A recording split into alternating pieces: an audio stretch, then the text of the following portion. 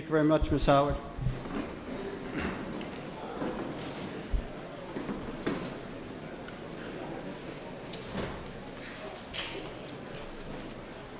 We have any new town meeting members who have yet to be sworn in? If so, please rise. Uh, we got stragglers again. Anybody who is new this tonight who wasn't here the other night? Okay, over here. Okay, so repeat after me. Raise your right hand. I. Will participate fairly and will fully evaluate all matters before town meeting.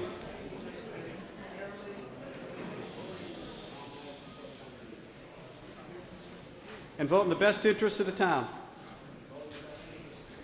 I support free speech and will treat others with mutual respect.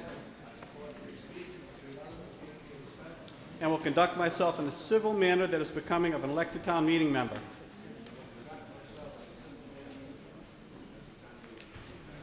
I do solemnly swear that I will faithfully and impartially perform the duties incumbent upon me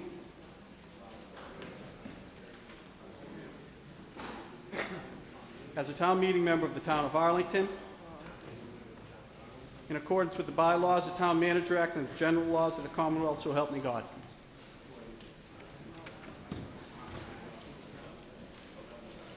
Thank you very much.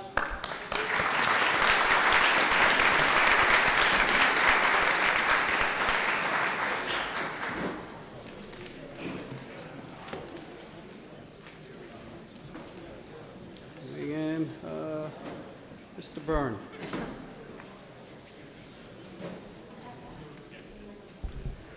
Thank you, Mr. Moderator. It is requested that members of the Board of Selectmen and elected officials of the town, town manager, department heads of the town, and staff, superintendent of schools and staff, committees, commissions, and boards of the town, Minuteman Regional Vocational Technical School District Committee, and superintendent, members of the Electronic Voting Committee and staff, members of the General Court representing Arlington, and also any consultants who have been retained to work for the town relative to articles to be acted on by this meeting. Representatives of interested parties of Article 1 and representatives of news media be permitted to sit within the special town meeting enclosure. All in favor? We're doing this because we're now in the special town meeting. We're not going to do it every night, just you wonder what we're doing. Um, Constable's return. Madam Clerk, do you have reason to believe that this was appropriately called by the Board of Selectmen and that the constable made a return of the service on the warrant in accordance with the laws? Yes, she does. Mr. Byrne?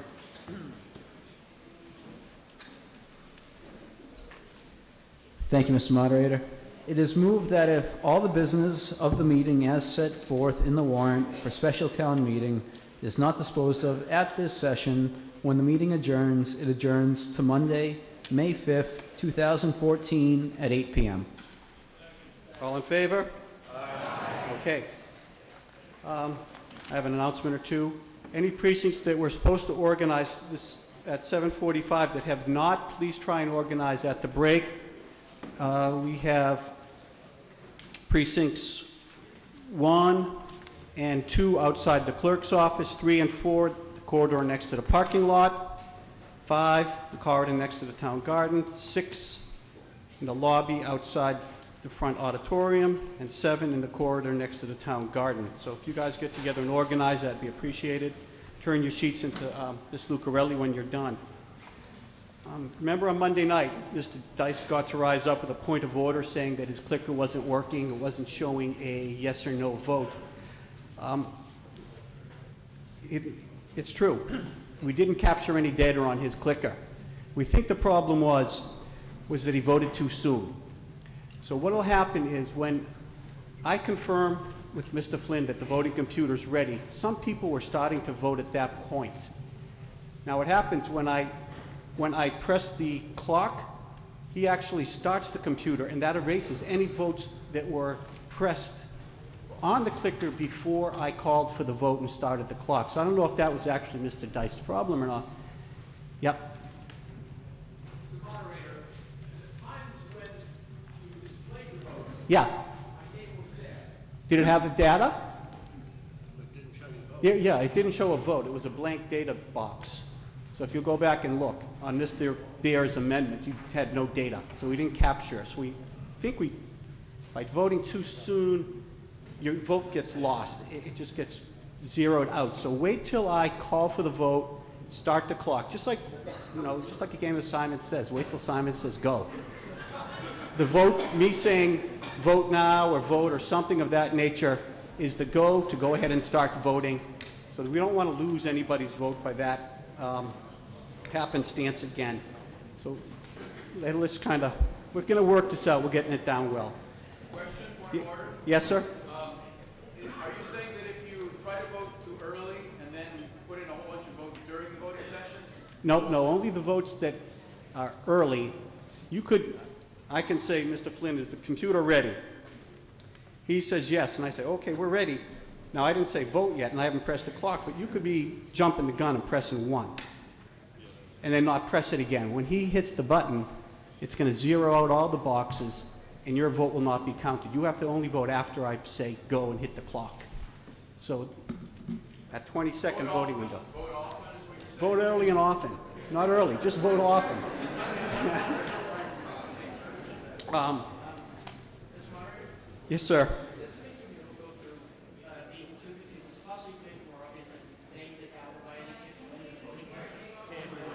I'm, I'm going to refine the, the way we're going to work it. I'm going to go a little slower. I may have been too fast. Sometimes I do go fast. I'm going to slow down a little and explain what we're voting and then make sure everybody gets it so we can have this smooth. Um, Community Preservation Act folks put something on the back table. They wanted to put on your chairs. I said, no, that's for motions only, but they wanted me to point out there, there are information back there, and don't forget to go pick them up. And we had a 99.5% return rate on our clickers last week, last Monday. One person brought it home, we tracked her down, and she brought it tonight.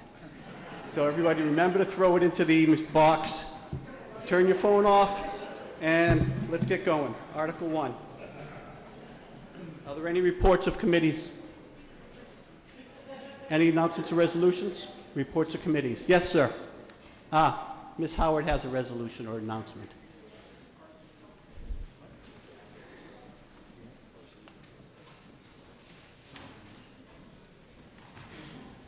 Thank you, Mr. Moderator. Jane Howard from Precinct 10 and a member of Vision 2020's Public Art uh, Committee.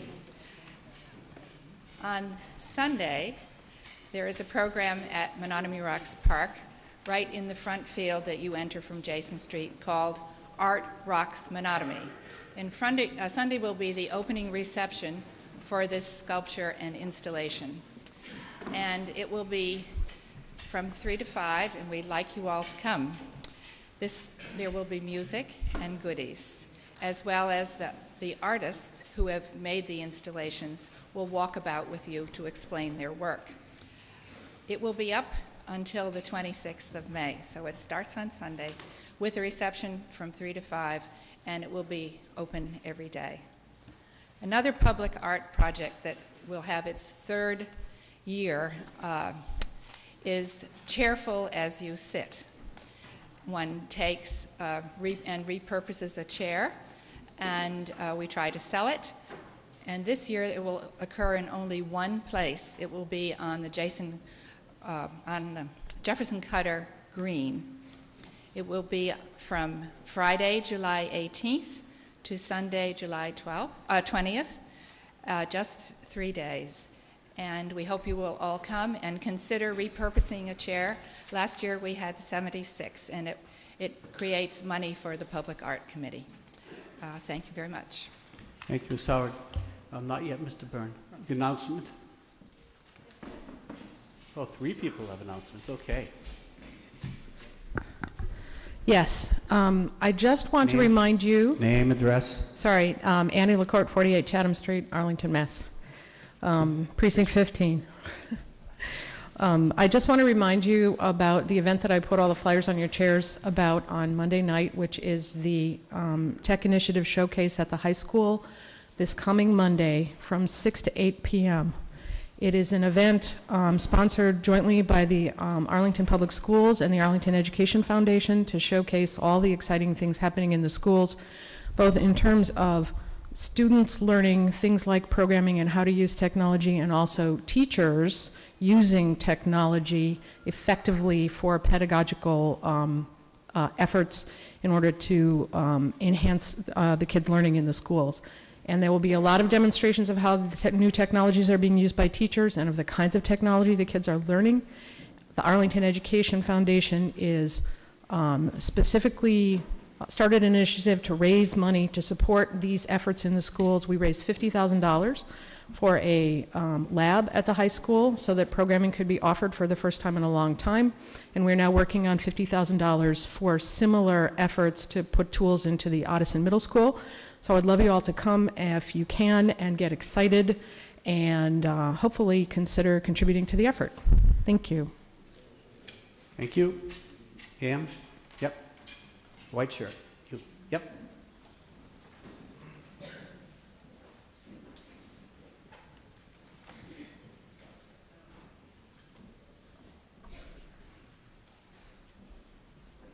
Thank you, Mr. Moderator. Sherry Barron, Precinct 7, and a member of the Human Rights Commission. We passed out a pink flyer on Monday night, and there's some in the back tonight, and we want to invite you to the Whittemore Robbins House on Sunday, where we're going to be celebrating the 10th anniversary of marriage equality in Massachusetts. Um, The reception is from 2 to 4. We're going to show a brief clip of a film that Glenn Koenig took 10 years ago and on the steps and inside of Town Hall. And we're going to have speak, two speakers, um, both of whom got their licenses that day and subsequently married, and a question and answer period, and light refreshments. So we hope you can all make it. Thank you. Thank you, Ms. Barron. Sir?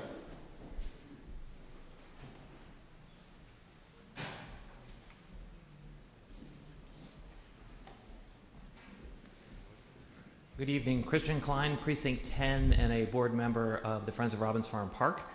Um, this Saturday, the May 3rd at 9 a.m., we are having a park clean.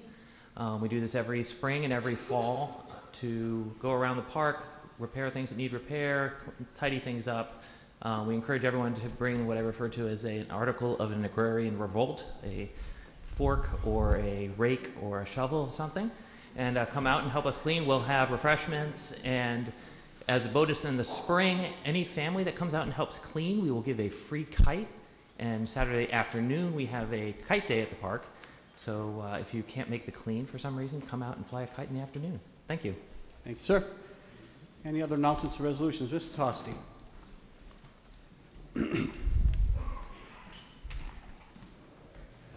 I just wanted to make an announcement about Minuteman. Uh, As you're aware, the superintendent of Minuteman has to reach 16 different towns and their town meetings. So uh, we've scheduled uh, next Wednesday, May 7th, we will be taking both Minuteman, the Minuteman article on the amendments and the Minuteman budget up next uh, Wednesday. And uh, we will emphasize that he needs to have uh, his report out to us on uh, next Monday for us to review. Thank you. Thank you, sir. Mr. O'Connor? Although the moderator, James O'Connor, Precinct 19, your assistant moderator, um, Mr. Leone did speak on Monday night about the email listserv. There seems to still be some confusion. Even the moderator tried to send through some links today. They went through tonight because some people have more than one address that is connected to the email listserv. The way to go about getting on the listserv is to go to the town website, go to the town meeting section, and it's a section that says add yourself to the list. You can then include yourself, you list your precinct number and your name, and then once I check it on the list, because that gives you then the privilege of being able to post to the list. I then moderate the item and submit it through. Um, There have been some posts that have not been on your chairs yet.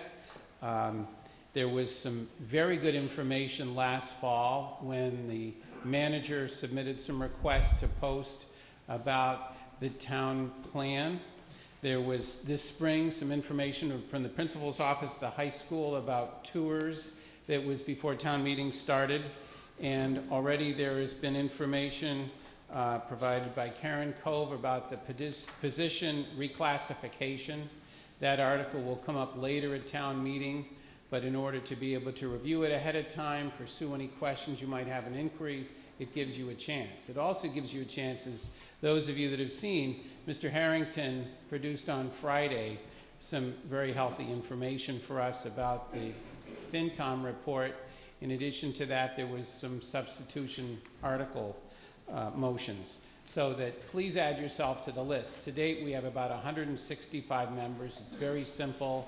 Uh, It's not for debate. There was an item that I did reject earlier this week because it suggested that we might want to have three minutes to vote uh, rather than the 20 seconds, uh, because that would come up in Article 11 during the meeting itself. That was not uh, posted. But anything that is short and sweet and to the point about a motion, that's what the purpose is, so that we're all aware ahead of time of what's going on. Thank you for your consideration. Mr. Hayner? Mr. um, Helmuth, did you have an announcement or resolution? Eric Helmuth, Precinct 12, and Chair of the Electronic Voting Study Committee. Just a quick addition to the moderator's admonishment about voting early. If you do accidentally vote early and jump the gun, once the moderator says vote, you can vote after that. So you can press your hand, say you're not locked out from voting. Early and often, just not early. Okay, any other announcements or resolutions? Okay, have any reports or committees? Mr. Byrne?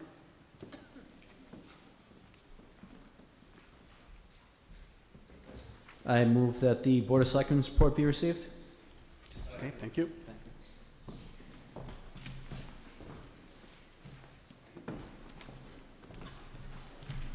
Mr. Tosti? I move that the report of the Finance Committee, which was in your original orange uh, booklet, be received. Second, okay. Any other reports? All right. So, Al, you're supposed to move the recommended votes contained in respective reports and boards before the meeting without further motion. Can you make that motion? Move that the recommended votes contained in the respective reports of the Finance Committee and the Board of Selectmen be before the meeting without further motion. All in favor, please say yes. yes. Opposed? It is so, these reports are now before us. Uh, Move that Article 3 be laid upon the table.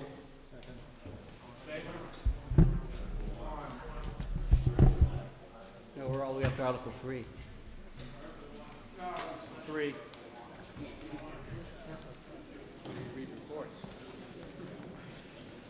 Article 1 is reports and boards. Before Article 1 be laid upon the table. Yeah. Okay, that brings us to Article Two, home rule legislation, request for license of all alcohol licenses. Mr. Byrne. Thank you, Mr. Moderator. Steve Byrne, Board of Selectmen. Um, So tonight, we are requesting that you support this warrant. Um, Currently, the board has 15 all alcohol licenses, and we um, have given all of them out. So we are requesting five more. Um, As many of you know, Arlington's restaurants have really flourished the, over the past several years, and I think that allowing us to give out five more will, will really help the, their continued success, as well as the success of all of the other businesses in our business district. Um, if this warrant does pass, it will then go to the legislature as home rule legislation, and then uh, will be placed upon the ballot for the residents to vote on. Thank you, and I hope you will join us in supporting it. Um, Mr. Leonard?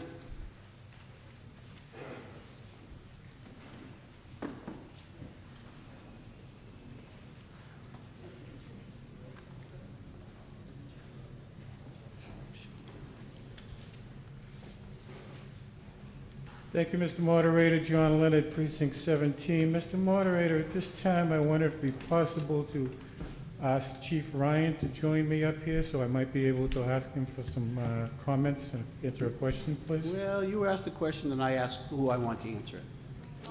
Okay. Love clock. So you got a few minutes extra, free seconds strong. Go ahead, ask your question. The question I have, Mr. Moderator, is lately, uh, we have seen in certain situations that I'll just come right out and say it, when an individual has been stopped for drinking alcohol and driving, that individual, I guess, it can be brought back or questioned in regards to where was the last place you were at? As if to keep further the investigation. I guess what I'm curious about is, is this something within the state? And I wanted to have the chief elaborate on it for a couple of minutes in regards to, is this something we might face in the town of Arlington? Uh, Is it in place all across the state? How does this mechanism work? And basically to inform town meeting that with the granting of these licenses over and over again, it's something that we might face later on down the road, that these establishments might be called upon to answer questions in regards to the individual just left you. Okay, Chief Ryan, can you address the uh, authority of the police to question a suspected drunk driver of where they got intoxicated? Yes, thank you. Good evening, Mr. Moderator. Good evening, town meeting. Uh, That happens upon conviction. Um, The judge who's uh, overseeing the disposition of a criminal convic- conviction for drunk driving will ask the offender where they consumed their last um, drink of alcohol, whether it was at a private residence or a licensed establishment. If in fact it was a licensed establishment, it causes the court to notify the licensing authority, which in Arlington, as you know, is the Board of Selectmen. Uh, And then the selectmen, along with the police department, can then um, uh, watch to see if there are any trends with any licensed establishments, and if there are, take some, uh, takes- take some preventative measures. I'm happy to report, uh, thus far, um, we've not seen um, any trends with our licensed establishments. Thank you, Chief. Thank you. That answer your question, sir? Thank you, Mr. Moderator. Uh, Mr. Steve Harrington?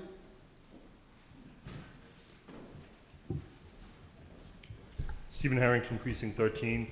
Um, I just have a question on the, um, I see, I've seen in the Treasury's report before, the um, amount of money that we collect from, um, I guess, a meals tax. And, you know, this, the, the, the reason to get five new licenses is to, um, you know, expand the restaurant business in town.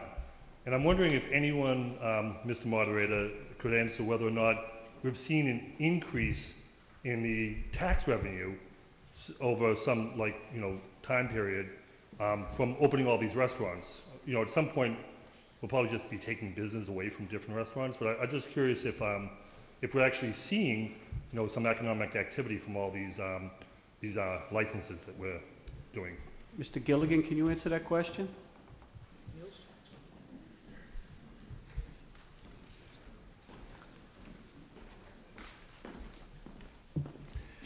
Thank you, Mr. Moderator. Stephen Gilligan, Town Treasurer. Uh, The answer, the specific answer to Mr. Harrington's question is yes.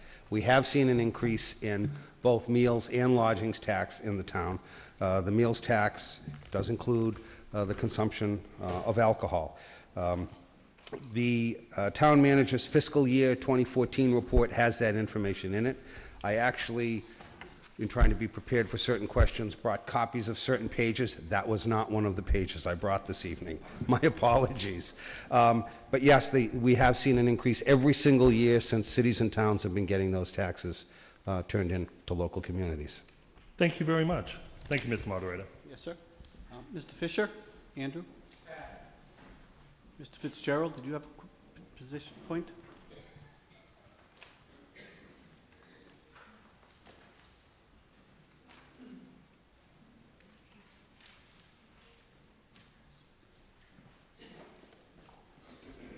Uh, Tom Fitzgerald, Precinct 11. I'm just curious, uh, wasn't that long ago that we didn't have restaurants with liquor store, liquor in them? Um, And the other night, we're wondering whether we're going to put in marijuana dispensaries. Um, When's enough enough? I mean, seems to me 15 restaurants in the town Arlington size with, with liquor, full liquor permits is enough, but um, I'm cur, I'm curious to know, Mr. Moderator, um, how many alcohol-related incidents we've had in the past year, and how many marijuana-related incidents we've had. Is it- Could anybody give me an answer to that? Chief Ryan, can you come up with a quick answer on that?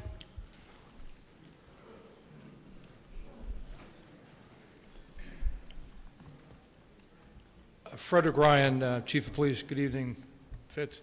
Uh, I don't have that data exact. I can, I can tell you um, from reading all of the police reports and, you know, sort of my uh, anecdotal sense of the situation is it has not been problematic. Uh, mo- Most of the restaurants are serving to people dining and having a a fine meal, and we have not had any hotspot problems at any of our licensed uh, liquor establishments.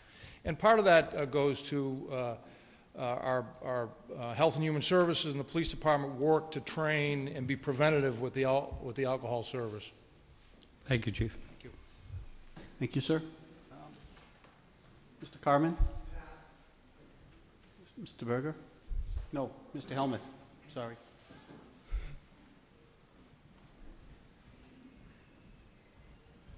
Eric Helmuth, Precinct 12. My question relates to alcohol outlet density, which is a public health principle. And my question is, does the local or state public health authority have a recommendation for the number of alcohol outlets that is, well, for lack of a better word, healthy for a population of the size of the town of Arlington? And if so, would the proposed increase fall within that recommended limit?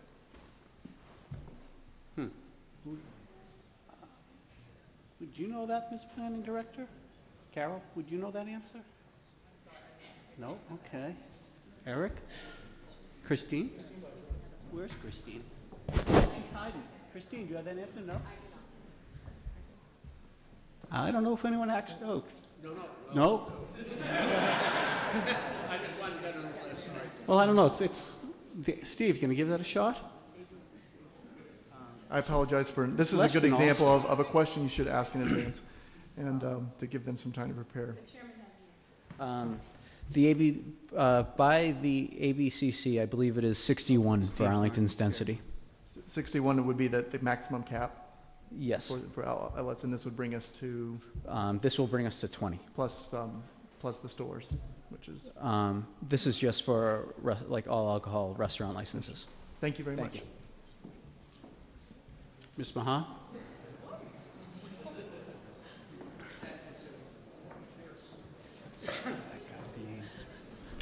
Diane Mahan, Town Meeting Member, Precinct 14, also a member of the Board of Selectmen. Just for my colleagues here on Town Meetings edification, um, I just want to let you know that one of the motivating factors for this was in the beginning of 2014, I want to say in January, uh, the board received a piece of correspondence from an Arlington resident. I can see his name, but I don't want to say it in case I um, am not remembering correctly. But he's an Arlington uh, resident. He is a chef uh, currently in Somerville and Boston who inquired that he was looking at a property in Arlington that he would like to open a restaurant. That was sort of, as I said before, the motivating factor that we discussed. Is this something we could allow? That's when we realized we're maxed out at 15. Um, going with ABCC practices, which I worked for years ago with the Mayor's Office of Consumer Affairs in Boston and ABCC, we usually go in increments of five. The chairman previously stated by density how many were allowed. So um, besides the fact that we have no more to give out at 15, and we're going for an additional five, we do have a request from an Arlington resident who is a chef that um, would like to have this as an adjunct to a future possible business here in Arlington. Thank you so much. Thank you, ma'am. Mr. Wagner? Thank you, Mr. Moderator. Carl Wagner, Precinct 11. Um, I came to this meeting tonight from the wonderful Toraya restaurant where I had a large sake, which was great. And um, I had it with my dinner, which also was great. And uh, since I grew up in this town, it was a dry town then. I think uh, one of the reasons restaurants succeed here now is that many of them have liquor licenses. However, I'm concerned that I don't go back to my college days of just having bars in Arlington. So, Mr. Moderator, is there anybody who can say, does Arlington now allow, allow the opening of bars with this sort of thing we're expanding upon, or are we still basically keeping to restaurants with liquor? Um, Well, I got three people raising their hands. Um, Doug, can you answer that? Mr. Heim?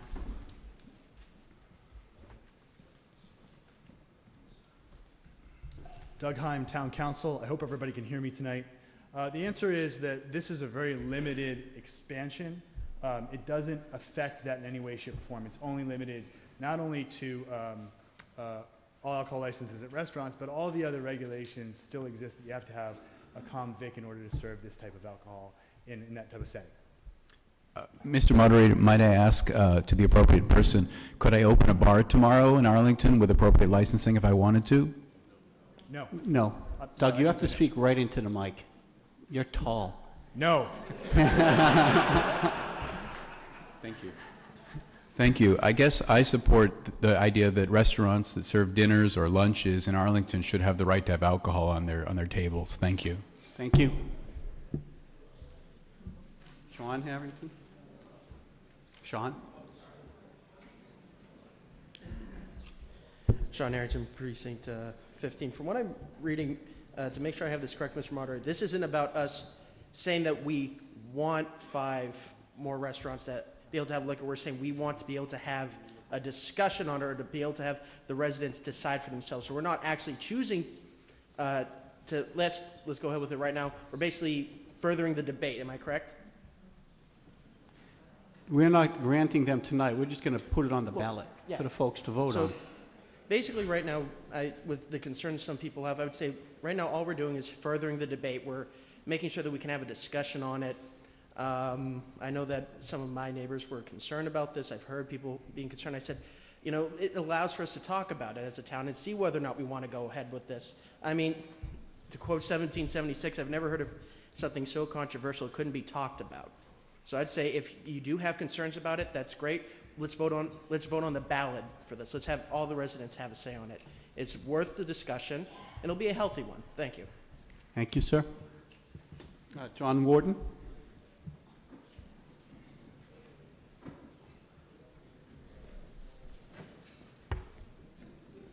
Thank you, Mr. Moderator. John Worden, Precinct 8. Um, Well, as, as a couple previous speakers have referenced, uh, those who've been around for a while remember a time when you couldn't get a drink in Arlington unless you got invited to the Legion or the um, Knights of Columbus or somewhere like that where they, where you could. Uh, um, But um, uh, some very enterprising uh, uh, members of our community, well, one of whom uh, Ms. Barron uh, spoke um, earlier this evening, and the other was uh, Roger Barnaby, um, uh, had the idea of um, uh, uh, promoting licenses for wine and beer. And, um, and that was the alternative. Uh, Under the state law, uh, you can have one such facility for every thousand people, so that would have been, you know, we could have 40 places in Arlington, which would be a few too many. Um, But they had this idea of the, the wine and beer licenses, and that worked very well. That is what brought the, the restaurant industry to Arlington, is we had all these restaurants opened up, they could serve wine and beer, which frankly, I think is all you need with a meal. And, um, uh, and, and then, and then we, and then they, they liberalized the law, or this meeting did, uh, to, um, so that you, you didn't have to have 50 seats. You could have, um, you know, wine and beer at the three-table restaurant theoretically. Um, so, uh, so that's really what got the restaurant thing going. Then somebody said, well, we got to have the, you know, the hard stuff too. And um, so we, we started with, with five. And then we got 10. And now we got 15. Um, and so we're, you know, and, and now they're asking for 20. Now, you know, that's, that's half as many as we have if we had just adopted the state law, uh, which we used to have to vote on every year in the ballot, and we always turned it down. So I, I, I, um, I, I suggest that um, uh, maybe enough already. Uh, we, we have, um, you know, the, the gentleman earlier asked the question, could I open a bar room? And, um, uh, and, and the answer was uh, legally no. Well, I was in a restaurant, uh, one of Arlington's many fine restaurants, 15 fine restaurants that have all alcohol licenses, I might say, and I won't say which one, uh, the other night, and um, uh, there were only a couple of us at tables because it was late, uh, but there were uh, quite a jolly crowd sitting around the bar. Now, I don't know that they were all having a late dinner. It seemed to me it was a pretty liquid meal. Um, but um, be that as it may, um, I, I would say, you know, if you could, if they would promise, this, this chef, this, this nice fellow from Somerville wants to open a restaurant, I mean, he could, hmm? The- This Arlington resident who wants to open a restaurant, uh, eh, I mean, he could serve wine and beer, and, and it seems to me that, that would get him going. Uh, But if, if somebody would, would undertake to, uh, to open one that had, uh, you know, maybe reasonable prices and enough light so you could read the menu, and, and, and a- at a, a noise level that was somewhat below a leaf blower at 10 feet, uh, then maybe I could be persuaded. But otherwise, I think, you know, let's sort of stop at this point. And the other point is, these 15 people who have set up these restaurants and are serving this, this alcohol, uh, with meals, of course, um, um, you know, should, is it fair to them to bring in uh, more uh, competition? You know, they've, they've set up here, they've invested a lot of money building their, their facilities, uh, and, and, and they're, you know, they're trying to, they're trying to make a living. Suddenly, you're gonna, you're gonna increase the competition by thirty percent. That doesn't seem entirely fair to me, so I would suggest that we don't take this additional step. Thank you. Mr. Deyst? John?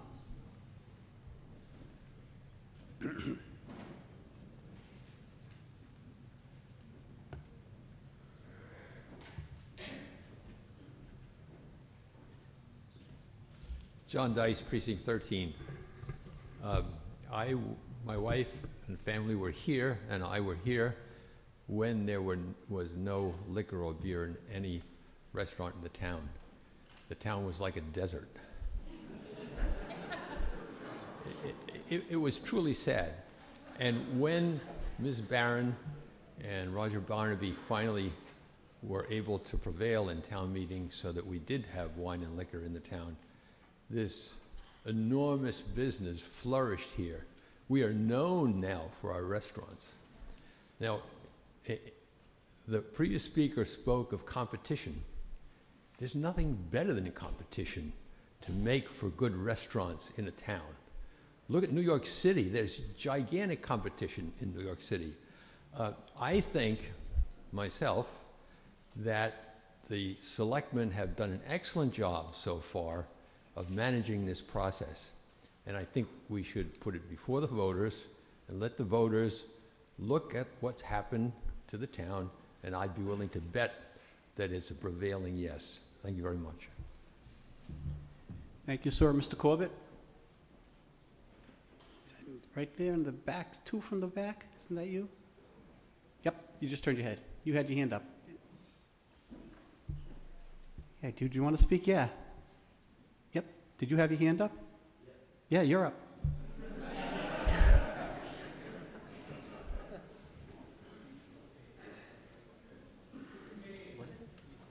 Mike McCabe, I'm sorry, Mike.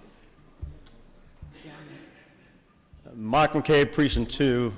I stand to terminate all debate on Article 2 and all matters before it. Okay, we have a motion to terminate debate on Article 2 and all matters before it. All in favor? Please say yes. Really, let's try this again. All in favor, please say yes. Yes. Opposed, say no. No. My opinion is a two-thirds vote. We have now before us a recommended vote of the Board of Selectmen on Article 2 at a special town meeting. All in favor, please say yes. Yes. Opposed? No. My, no, uh, you want to use the click? We had four people vote. What's that? Uh, Okay, we wants to get a, Doug wants to get a recommended vote. All right, so, Mr. Flynn, are you ready with your machine? Now, again, we're recommended vote of the Board of Selectmen. Once I say vote, you can vote. Number one is yes, number two is no, three is abstain. I just got into old habits voting yes, and no.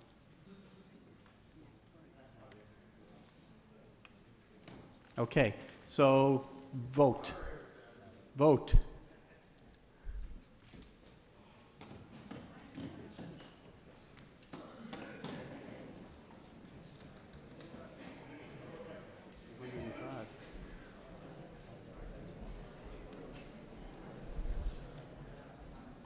Okay, here we go, lock it down.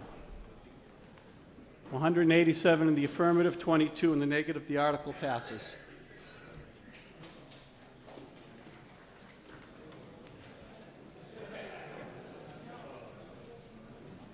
That, it's a positive vote, and I so declare it. That brings us to Article 3. Recommended vote of Finance Amendment to 2014 budgets. We have a recommended vote of the Finance Committee for $15,000 for AYCC, $43,000 for the Ed Burns Arena. Anyone want to address this, or anyone have any questions about this article? Okay. Well, since no one does, let's just take a voice vote. All in favor, please say yes. Yes. Opposed? It's a unanimous vote, and I so declare it. That closes, that's, the- closes Article 4, and brings us to Artic- Article 3, brings us to Article 4, Appropriation 2014 Collective Bargaining. The recommended vote of the Finance Committee for 2.75% general wage increase, $89,000. Mr. Carmen.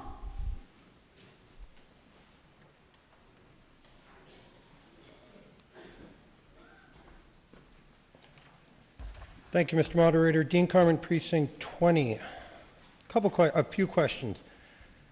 So the article says it's a 2.75% general wage increase for the patrolmen. And then in the comment, it says, with this wage action, all unions are now under contract through June 30, 2015. So what's the increase for, is this 2.75 one year, two years, 2.75 each year? Mr. Chapdelaine as the bargaining official. Adam Chapdelaine, Town Manager. So the vote tonight is for the FY14 uh, piece of the contract. This contract, though, extends the patrolman to be uh, uniform with all the other units that were voted on last year. So it does represent a 2.75% increase as of July 1, 2013, as well as a 2.75% increase as of July 1st, 2014. And then the contract will expire on June 30th, 2015. Okay, and then just as a refresher, when we say all unions are now under contract, I think we, we voted on a lot of these last year. Correct. So what was the general wage approval last year? Do you remember, like the range of, range of settlements? Uh, They were all that figure. 2.75? Correct. Okay, and then when you say all unions, this includes the school? It does not. It does not? Uh, In terms of that figure. Well, But- no, but when the you say school- all unions are now under contract, does the school under, are the The school school is unions? under contract through the same duration. Okay, those are my questions, thank you. Ladies and gentlemen, if you just indulge me for one second. Um, I asked those questions because, and I'm going to try to stay within the scope of the article, but will, I will wander slightly on this one. It was a small bit of what I'm going to call a setup question. Um, Later on tonight, and later on in town meeting, we are going to vote on the FY 2015 budget. If you go to your FY 2015 budget, we, we are going to be entering the year after the three-year plan, so year four after the plan. If you go to your budgets and you go down to the second solid line, you go two lines up, you'll see the word personnel.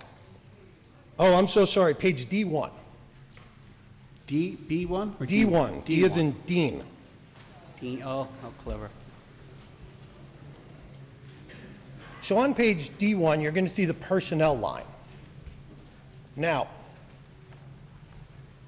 the town manager just told us that the personnel budgets all went up 2.75%. But when you look at the personnel line, you're going to see that it it is proposed to go up 4.03%. I asked about the schools because the schools are going up 3.5%. And so one of the discussions we're going to have to have on- later on in this meeting is about the future of the size of the town budget and what we're doing. Because while I don't want to get too far off of scope, simple logic would dictate that if your increase is 2.75% in your contracts, but your operating budget is going up 4%, you're doing something else besides just replace, besides bringing back all the people. But that is an article, that is a, that is a discussion that we're going to have later on in this meeting. But I wanted to point it out tonight because one of the things um, I think becomes very difficult is we have all of these numbers and all of these articles and they're flowing back and forth and it's very difficult to keep your head wrapped around what's going on. So I just wanted to point out that, you know, when we get to that later on, I'm probably going to reference that. So I just wanted to, in a few nights, lay that my basis. Thank you. Um, Mr. Jamieson.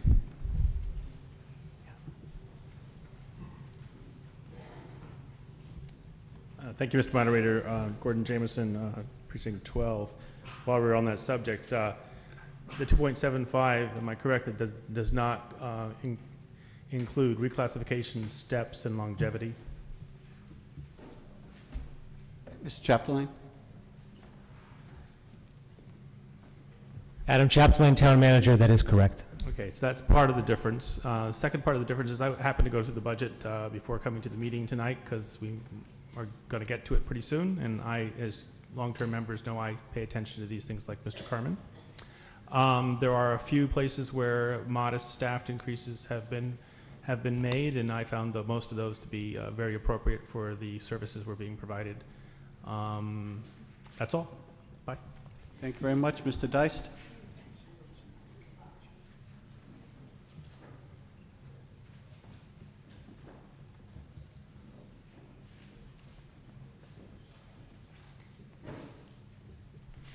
John Deyst, Precinct 13, and a member of the Finance Committee. Um, I'm here to support Dean Carmen and what he said just a moment ago. And on, again, on page D1, you go far off to the right on column which is called FY 2020, you see at the bottom there, $12,834,792 in parentheses. That's a negative number. That's what we're going to have to go for in terms of an override in, you know, at about that time. So I, along with Dean and a number of, and most, probably most of the rest of the Finance Committee, we are fretting about the fact that we are consistently going well beyond the two and a half percent that is allowed by law year after year after year. I don't know what the answer is, but we're going to have to address it somehow. Thank you very much. Thank you. Mr. Tosti?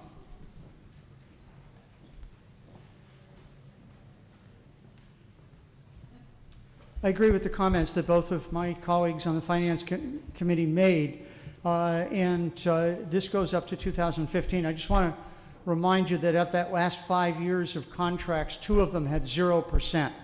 So, you know, if you average them out over a period of time, they're, they're I think, a fairly modest increase. But starting next year, especially with the low inflation, you know, the manager and the superintendent and school committee are going to have to bargain very tough on that uh, to, uh, you know, maintain reasonable personnel costs. But I just wanted you to look at the whole last five years as opposed to just one year. Thank you, sir. Mr. Harrington? Stephen? Stephen Harrington, Precinct 13. Um, I didn't know this was going to come up tonight, so, you know, um, but I'm glad it did. Because if you look down at um, the same page, D1, you look at items C and D, pensions and insurance. That's pensions and health care. So those are the benefits. So we just heard about salaries, but now look at the benefits line. 5.92%, 4.5%. When you look at the costs of employees, and, and you see, these are, these are costs that are what I call forever costs. And so when you see an increase in a forever cost, you really have to pay attention. So the cost of our employees isn't just the personnel costs at 4%. 40% more of the cost of those employees are in their pension and healthcare costs. And you're seeing not 4% increases, you're seeing almost 6% increases. Thank you, Mr. Moderator. Thank you, sir. Mr. Wagner? Thank you, Mr. Moderator. Carl Wagner, Precinct 11. I move the question and all associated matters. We have a motion to debate on the article and all matters underneath it. Requires a two-third vote. All in favor, please say yes. Yes. Opposed? No. In my opinion, it is a two-third vote. Well, everybody seems to like the clicker, so we're going to use it again. Mr. Flynn?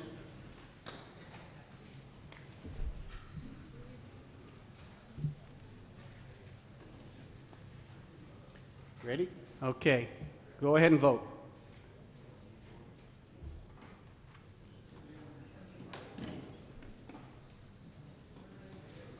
We already terminated debate. No, we already voted that. We were voting on the article. Do y'all not understand that? You got three seconds left to vote. Quickly vote on the article. Time's up. Did y'all understand we were voting on the article? Yes? Okay. Shush, shush.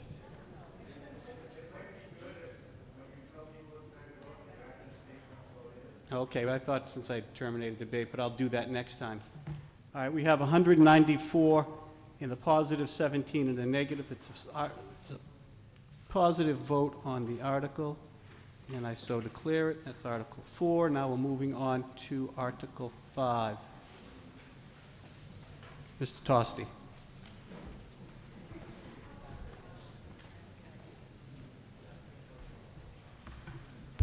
We had originally recommended no action on this article because we were going to take care of this in the capital budget in the annual town meeting.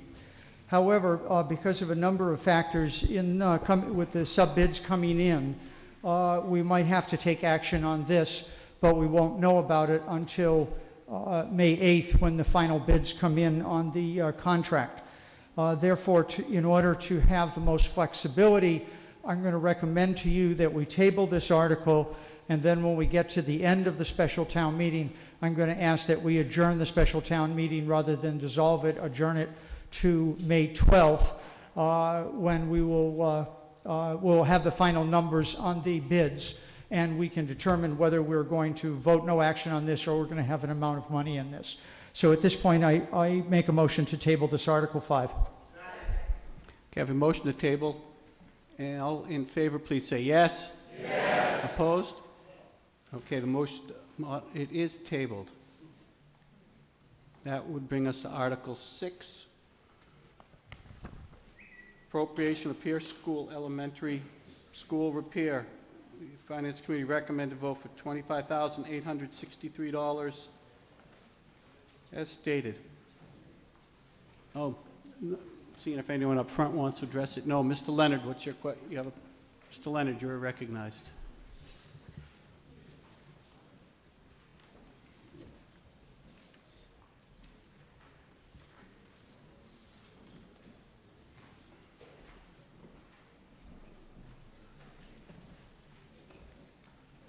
Thank you, Mr. Moderator. John Leonard, Precinct 17. Mr. Moderator, I wonder, my first question would be, for the benefit of the town meeting, could we have the nuts and bolts of an explanation of what the actual municipal building insurance fund is and does? Mr. Tosti is going to tell us exactly what that is. We have a, uh, we have insurance on our buildings, but we have a deductible. Um, I believe it's a $100,000 deductible. So the building insurance fund is for us to cover all the deductibles if they take place. Uh, So in this case, the 25,863 falls below that deductible. It's our responsibility, so we're asking to transfer uh, the money from the building insurance fund uh, to fund these repairs. Is there any kind of legislation or hearing or movement going on as of right now as to an investigation of the cause and action to be taken in regards to the, uh, the pipes and the damage done to the school? Is it under any kind of uh, discussion, legislation-wise? Adam, you suing anybody? Adam Chapdelaine, Town Manager. So the cause of the problem was a faulty drive on uh, the heating system, and that, uh, the faulty drive and the connection to uh, the larger HVAC system, it's since been repaired. The problem was identified, repaired. Uh, There was no one we could go after, a- and there was no warranty that we could go after, but we did identify the source of the problem and repair it. According to an article in The Advocate dated the 16th of January of this year, uh, a comment was made that, and I quote, "We're looking at it now to see why it failed, but it's in the software system." Is that a, is that a contradiction to what you just might have said, Adam, or? This article Mr. dated in? January's edition is claiming it was in the software. I, I, Adam Chapdelaine, Town Manager. I'm not positive that it was in the software, but it could have been the software connected to the drive that failed. But it was the, it was, if it was the software, the software caused the drive to fail and caused the damage. Could I ask whatever kind of guarantees, if at all, not being computer literate, that we have for software in the system, especially in other parts, of the schools? Is there any guarantees of software failing? We have, we have any kind of maintenance, any coverage, anything at all? I'm, um, I'm unclear, uh, guarantees in regards to just ongoing performance of the software?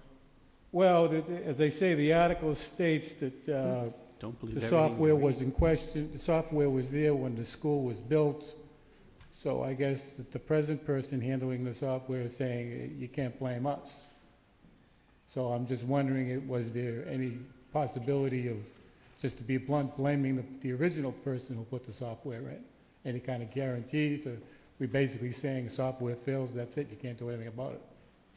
Um, I don't, I don't think we could go back to the original installer of the software. Um, I suppose if, if anybody was to blame, it could be the current, uh, it could be the main, uh, excuse me, the maintenance of the software and making sure that it was working properly. But I, but I I don't think there's anybody we can go back after in terms of a guarantee from the software company.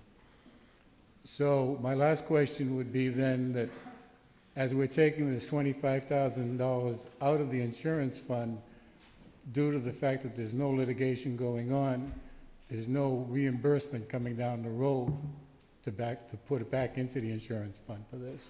We just eat the twenty-five thousand dollars. That would be the case, correct? Thank you. Thank you, Mr. Moderator. You're welcome. Anyone else wish to address this article? Sir?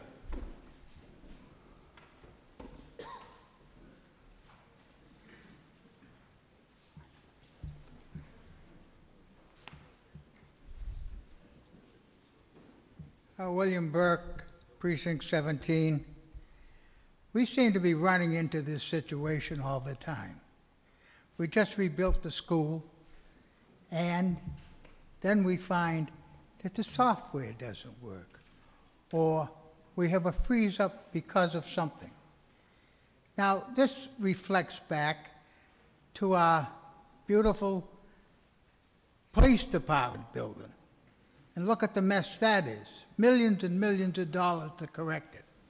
There's something wrong with how we're letting out our bids. There's something wrong with how we're building things. Here you got a school that is nearly 100 years old, the old Russell Elementary School, and it's still in fine shape because it was built better. And yet we knock down schools that are 40 years old and, oh, we'll start all over and build a new one. Oh, we've got so doggone much money, we can do this all the time.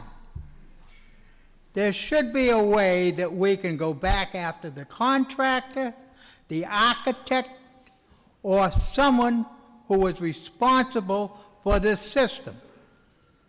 And I think we're a bunch of darn fools if we don't.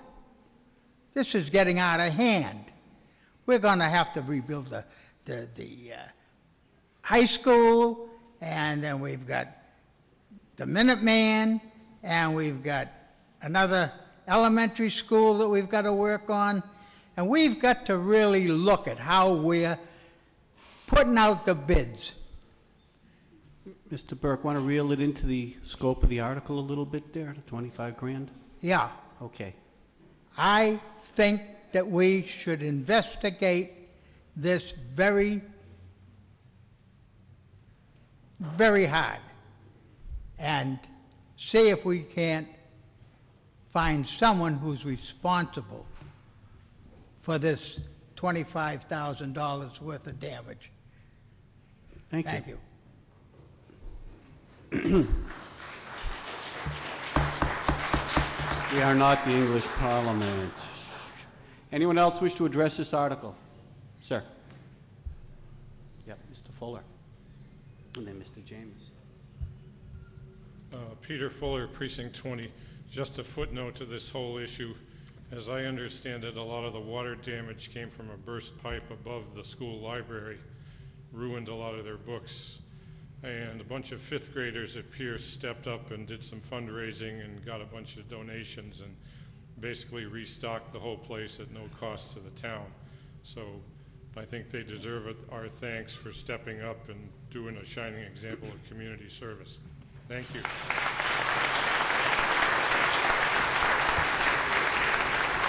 Mr. Jamieson?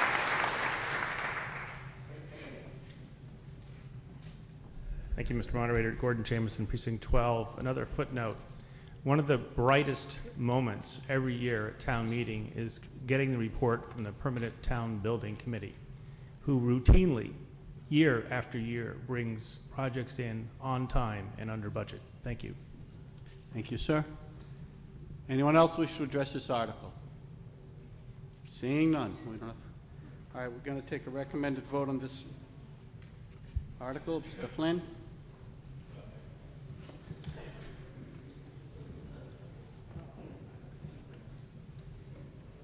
Ready. Oh, darn it. See, that's the problem. It's a simple majority. All right, all in favor, please say yes. Yes. Opposed? Okay, it is a positive vote, and I so declare it as a unanimous vote. Sorry, Steve. And That brings us to Article 7, which is a two-thirds vote, Transfer Fund Stabilization Fund. The, I'm going to play with this for a second because they recommend $500,000 appropriated and transferred to Special Education Stabilization Fund. Does anyone want to address this article? Because this is a two-thirds vote, we are going to use our machines, but, what's that? Oh, Mr. Fuller, I'm sorry.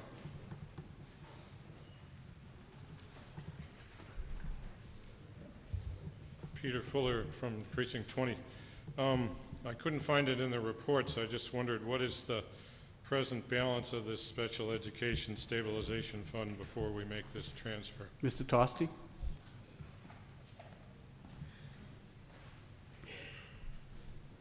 $500,000.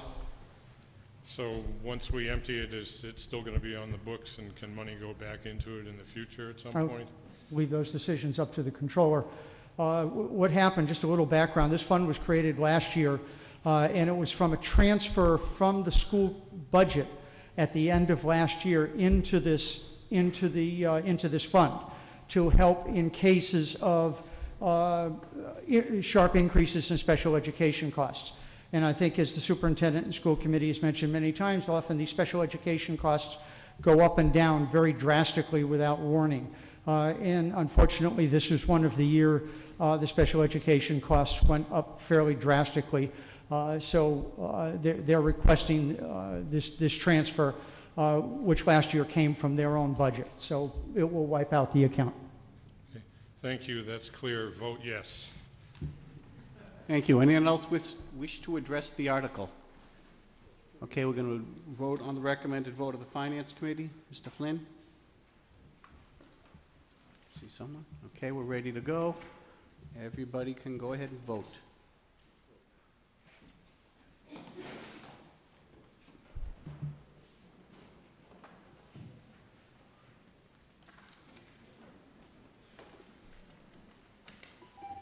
Five seconds.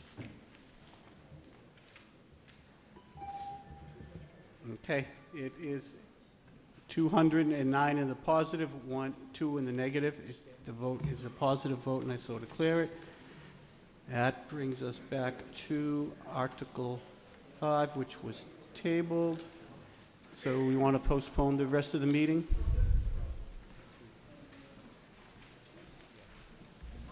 As I mentioned to you before, the- on the reason for this, I ask that the special town meeting be adjourned uh, to Monday, May 12th. We have a motion to adjourn the special town meeting to Monday, May 12th. We have a second. All in favor? Yes, sir. Oh, your motion. All in favor, please say yes. Yes. Opposed? It is adjourned. Motions for reconsideration on the special town meeting. Seeing none. Okay, that brings us back to the regular town meeting, Article 12,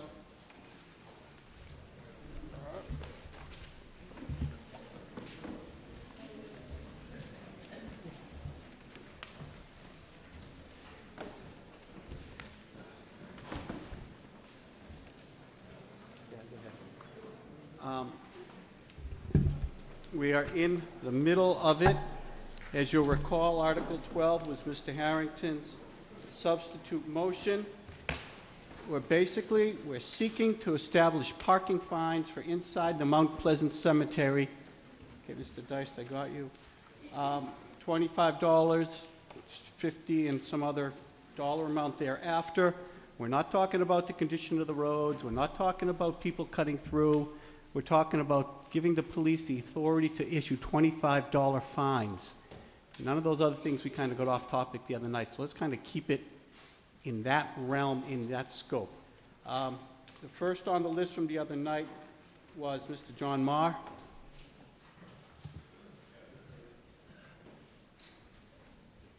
Got you, Andy. That guy back there. Thank you, Mr. Moderator. John Marr, Precinct 14. Uh, Mr. Jamieson, you will be getting a report from the Permanent Town Building Committee from our esteemed chair. And we take great pride in our projects coming on time, under budget. Unfortunately, one project that has not been on time is the community safety building repair. And I think that has exacerbated uh, the parking issue over by Mount Pleasant Cemetery. That project is coming to a close, and I ex- fully expect that, that the parking of cars there by various contractors will be abated very soon. So that's my comment. I do have a question, though. Uh, Fred Ryan's office is the corner office at Community Safety Building. He has a very direct view. Uh, He is our chief enforcement officer, and I would like to ask him uh, most respectfully for his perspective and whether or not he has any uh, suggestions as to solution as to the problem of parking at Mount Pleasant. Mr. Ryan, Ryan?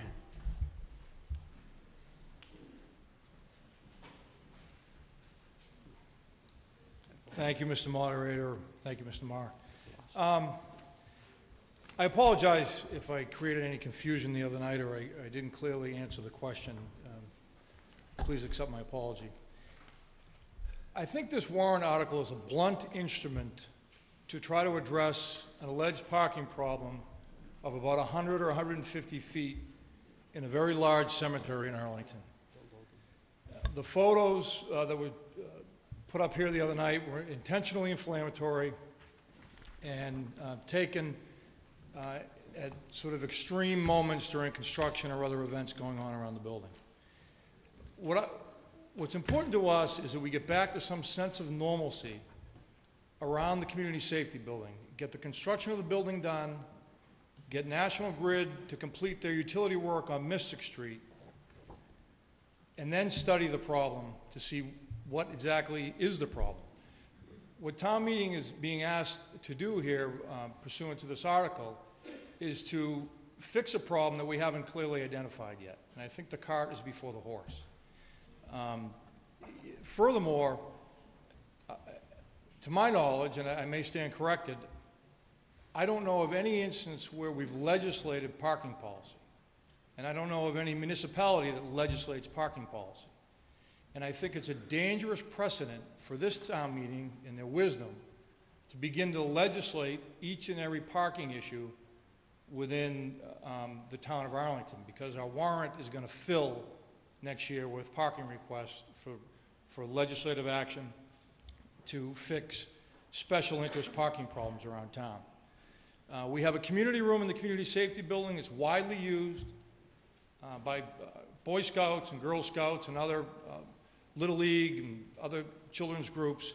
I don't see me directing Arlington police officers to Sachem Ave or to the cemetery to issue parking tickets to our, to our uh, nonprofit groups that use that community safety building, and sometimes have to rely on that, on that parking. Um, And um, lastly, um, I'll just say that I question the enforceability if you were to pass this. Um, That's a very large cemetery. I've happened upon uh, artists who are, who are taking artist renderings uh, of, of the foliage, and uh, they would be subject to fine under this warrant article. Um, So, again, I ask town meeting in your wisdom not to legislate parking policy, uh, to allow us to get back to some sense of normalcy. We'll evaluate uh, the parking situation and take corrective action as needed. The infrastructure issues that Mr. Chapdelaine mentioned the other, the other night are going to move forward. There will be no parking on graves uh, because the infrastructure simply won't allow it. Um, Thank you for listening. I, I strongly urge you to vote no on this article. Thank you. Yeah.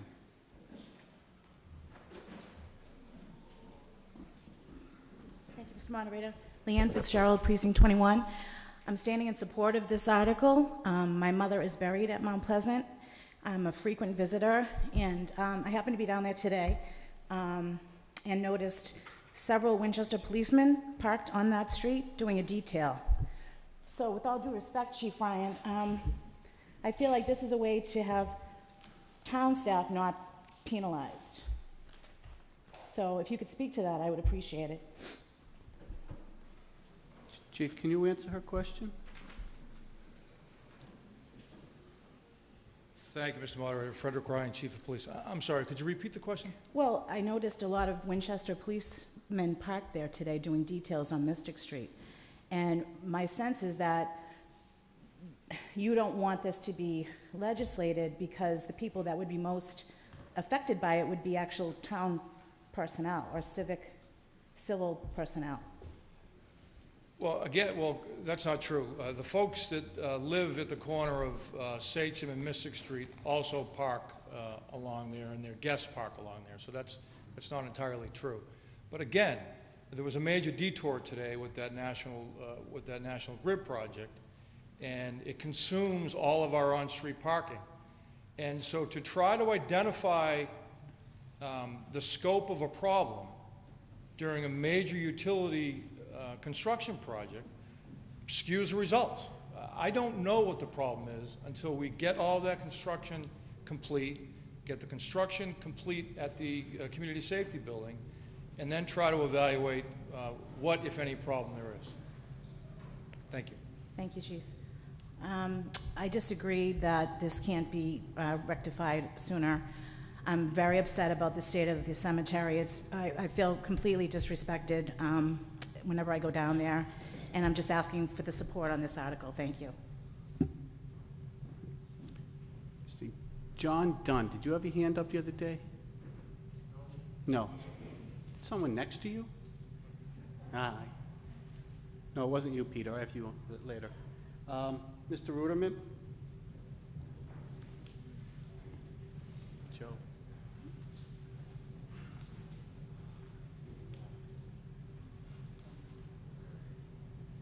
Joe Kern, I got you, Joe. Thank you, Mr. Moderator. Michael Ruderman, Precinct 9. We've heard our uh, Chief of Police uh, tell us on a number of occasions when questions have been referred to him in his official capacity and expertise, you know, how would you go about enforcing this? Uh, How will your officers handle uh, a particular um, uh, change in the bylaws or, or the enforcement of something that, that, that's been, been proposed, and he has invariably come back to us with, with an argument for uh, reason and discretion.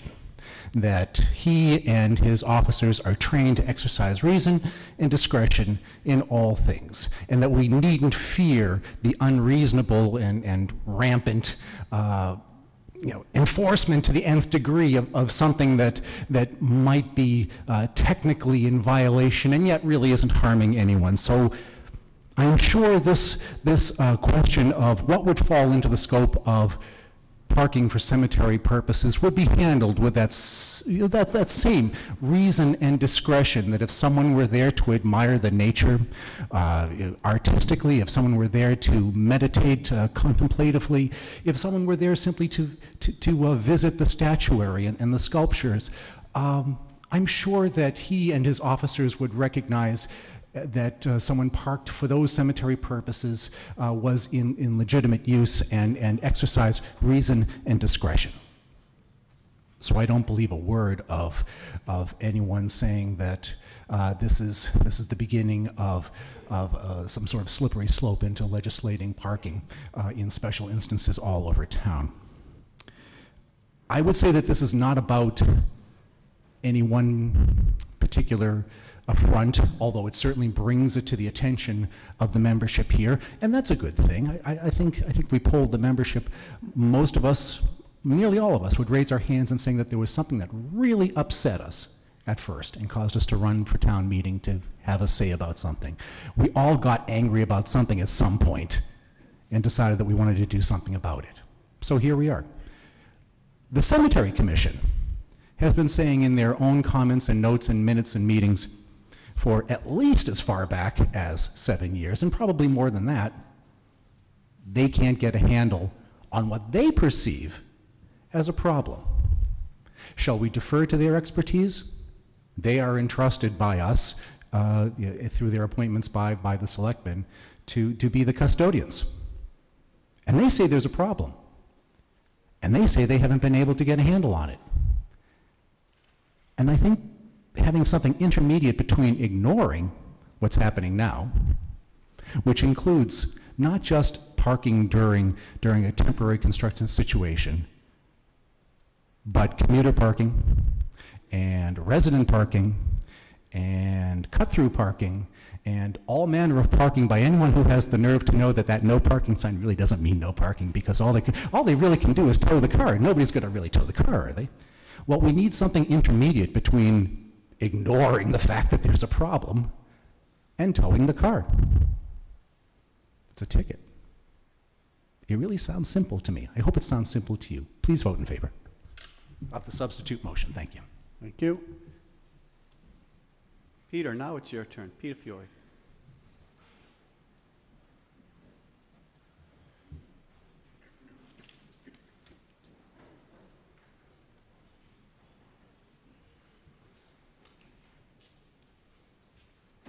Peter Fiore, Precinct 2.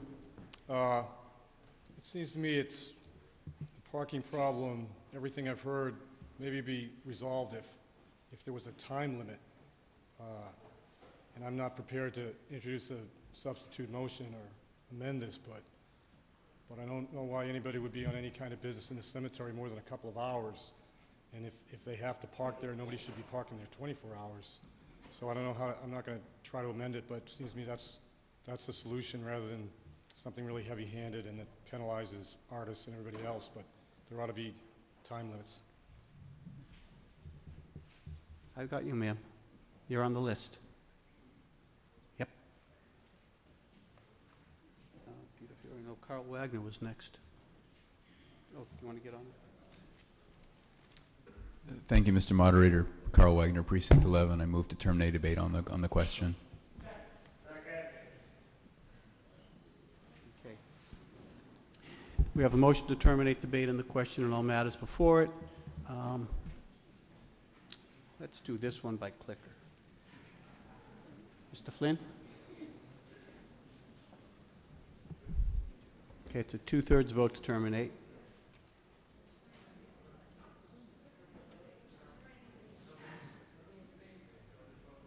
Yes, we're going to turn, this is a two-thirds vote to terminate debate. We're just waiting on our wonderful machine, okay? Go ahead and start voting to terminate debate. One is yes, two is no.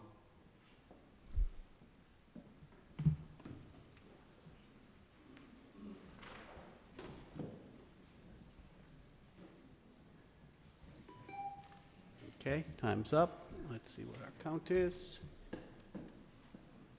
Two, 127 to 87. Debate is not terminated. 82. It's not a two-thirds vote. It fails. Next on the list is Mr. Chappett.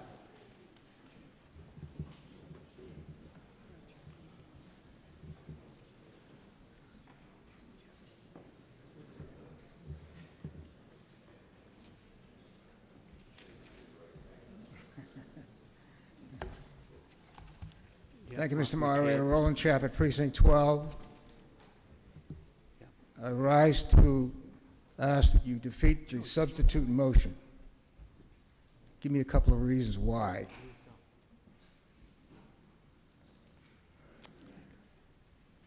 The cemetery is open all the time. There are no gates on there. And quite honestly, I've used the cemetery as a birder somebody who goes out there and looks and watches for seagulls and hawks and ravens and a variety of, I'm sure there are other members in town meeting that have done the same thing. In fact, one day, I watched a mink catching fish in the brook. Fascinating. But I was essentially not there for burial purposes, obviously. So I'd like to make a couple of suggestions. Number one, vote the substitute motion down. Number two, commend Mr. Harrington for bringing up this issue. It is a serious problem, and it needs to be resolved. And so, personally, you don't have to do this on your, well, do it on your own, of course, and just tell him that you appreciate the fact that he brought up this issue, and it needs to be reviewed and some action taken on it.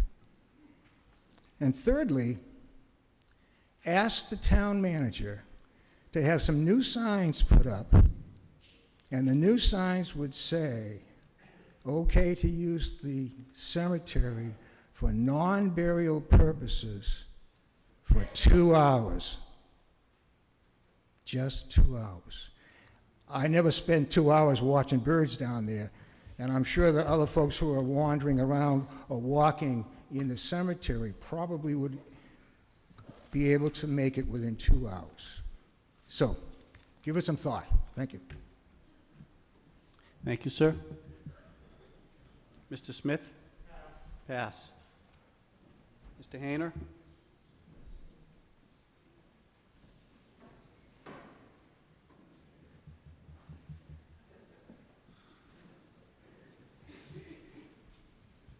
Bill Hayner, Precinct 2.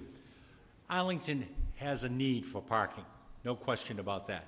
The largest parking lot we have is 100, 200 yards down the road. This is a town that prides itself on being healthy. Take a little walk. That's all I'm suggesting. And as far as the construction vehicles and, or police details and stuff like that, the town has the authority to cordon off a piece of that parking lot for those people and walk back up the street. It's not that far. Thank you. New guy, right in front, Nick, right there, looking at his machine. Yep, you. Carefully waiting my turn. Christopher Uh-huh. Moore from Precinct 14. Playing with your thing, you're not supposed to. Bad man. Go ahead. Name You'll, and be glad precinct. to know I was reviewing the uh, Board of Selectmen report. Name and Uh, precinct. Christopher Moore, Precinct 14. We are a legislative body here, and we have an enforcement problem. There's an existing regulation, but it's not enforced for some reason or other. Um, I'm concerned that we are adding a regulation that may also not be enforced. Um, so I'm wondering if I could ask, um, through the moderator, who might enforce this regulation and uh, if they're willing to do it. The police re- enforce it. Are they willing to? Well, they have to enforce all the bylaws of the town. I don't think they have a choice. A- And, But Mr. Is- Doug is, Mr. Heim wants to address that. I think you had your hand up there. to- Oh, okay. okay, fine. And is anyone willing or able to answer the question of how we might improve enforcement of the existing regulation if we do not adopt this?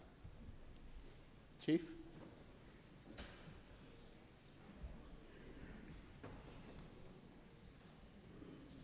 Thank you, Mr. Moderator. Frederick Ryan, Chief of Police. Good evening.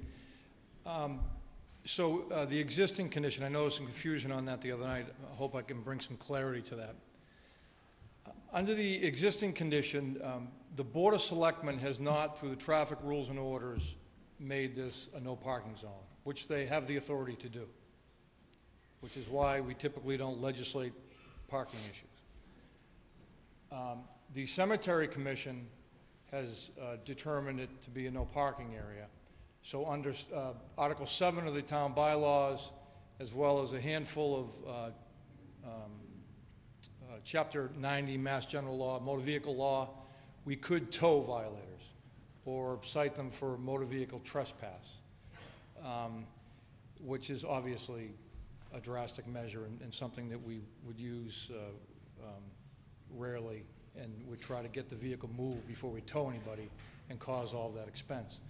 But, you know, um, to, to that point, um, and, and further to Mr. Ruderman's point, you know, if, if, if we enact this, even if we choose not to um, enforce it for the bird watcher or the artist or whoever, it gives a police officer the authority to stop and detain and further investigate and perhaps impose on somebody's uh, um, uh, freedom temporarily. And is that something, you know, we want going on in our cemetery? Again, this is a 100-foot section of a huge cemetery. I think that um, through the good work of the manager and the DPW director, we, we uh, uh, fix the infrastructure issues and the curbing issues, to prevent damage to, to any of, the- any of the uh, cemeteries. Uh, uh, Nobody agrees that they should be damaged. And then we evaluate the problem and all the construction is gone. But Thank you. Did I answer your question? Generally, yes. Thank you, sir. So it sounds that the Board of Selectmen would be responsible typically for creating and uh, regulating this as a no parking zone, is that correct? Uh, Yes, sir, that's correct. And in the town of, in the Board of Selectmen's report, they say, quote, "This article proposes to codify parking regulations in Mount Pleasant Cemetery into the bylaws." But they argue then that this is not really necessary because it's kind of already done. But I think what we've heard tonight and, and, and last night was that it's not really quite done. Um, it- seems that either we have to do it or the Board of Selectmen has to do it. And uh, I'm not entirely sure which is the right way to do it. We've heard some arguments on both sides, so I'm not sure what I'm doing on this one. But anyway, thank you. Thank you, sir. Joe Curran, it's your turn finally, even though your arm keeps going like that.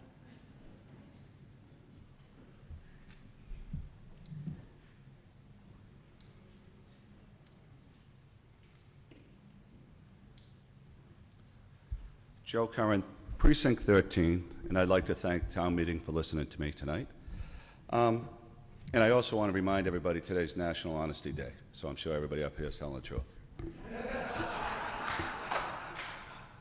Uh, This, this uh, subject's near, near and dear to a lot of people, but I just want to make it simple. This, it's, it's a sacred, sacred ground, burial grounds. It's where, wherever you go throughout the, the country. And uh, the condition of, of that uh, cemetery isn't what it should be, as we saw through some of the pictures. And I know I'm trying to stay on scope here, but um, my feeling is, is that, uh, you know, I just went through this. When you have elderly parents, you have to pay for cemetery, uh, cemetery plots and so on and so forth. And you pay for something called perpetual care.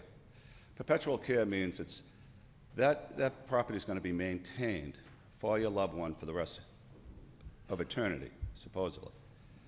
Um, and there's funds for that. And for all the veterans and all the people that paid the, sac- sacrificed their lives for us, and for us not to acknowledge that and take care of sacred territory like that, it, uh, it kind of hurts me in a separate way. Plus, I have loved ones that are in there. Uh, years ago, uh, when I was a kid, um, they used to close the gates to the cemetery on one side, and on the Sachem Street side, there was a chain where the cemetery began. If that chain went up and only authorized people that have to access and work in the cemetery had access to that, that would relieve a lot of the parking. There wouldn't have to be an enforcement because people couldn't get in that way. I don't think it creates a public safety issue unless we have to have police cars and fire uh, apparatus rip through those small streets to get somewhere fast. So I think it's kind of just segregates it in such a way that it can be maintained by the town, uh, by town workers, it can be accessed at appropriate times, and we're not infringing upon anybody's rights. We're not infri- infringing upon the neighbors. And, you know, it's, it's pretty simple. If it's for cemetery business, it should be for cemetery business. Go in, pay homage to your loved ones, and pay respect to people that respected us in their own, own way, and uh, maintain it properly. That's, that's all I have to, to say about that. It's pretty simple. You go in there to pay your respects, you take good care of it, you turn around, you go out. And if we could put the gates and stop the gates at 7 o'clock or 8, whatever they deem res, uh, responsible, there is a, there's an issue. It can be resolved this way. If people want to put their heads together, you put a chain up, done. And th- there's, there's, no, there's no real wiggle room then.